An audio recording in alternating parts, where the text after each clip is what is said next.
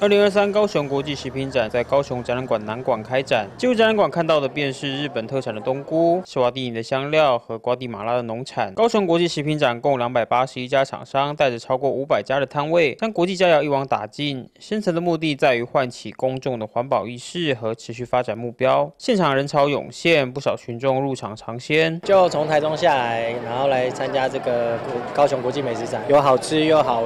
好玩的地方，然后来看有什么新的东西这样子。眼前这家鱼菜共生厂商，利用鱼肥灌溉蔬菜，不仅可以减少化学肥料，还有来自茂林的有机食品红梨，利用山上特有的原料制作成许多天然加工食品，也和 SDGs 所提倡的有机生产和有序生态相互辉映。我们这个是鱼菜共生哈，拉棍的鱼菜共生。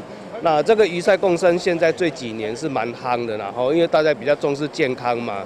啊，你只要在家里有一个小空间，那养鱼，那鱼的排泄物呢，它会分解成养分，那这个养分呢，会从水中吸收到我们上面的这个植栽粉上。呃，我代表我们茂林区芒果产销班，那我们经营了有十几年，把我们山上的原住民的农特产品的一些特色，把它表现出来。除了红梨以外，我们还把这个原生种的小米啦。树豆啦，还有香料，我们把它加工成各种的香料。不只要提倡环境永续，为了推广在地渔农产品，特别设置高雄海味专区和高雄物产馆，期盼通过这次展览，让高雄在地的渔农产品可以走向国际。我们也希望说，啊，借由啊各式的食品展，像东京食品展，啊，今年年初到东京食品展也卖了大概有三亿。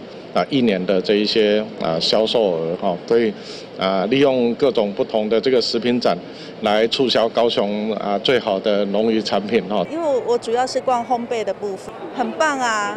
对，希望一年比一年盛大。此次国际食品展将为期四天，除了供民众欣赏和品尝，还会举行国际食品通路商采购大会，旨在提供参展企业和海外买主一个交流和合作的平台，以促进在地经济的发展。不仅让一般民众满载而归，还要吸引国际厂商，带动在地农产外销经济价值。人间卫视王商义高雄采访报道。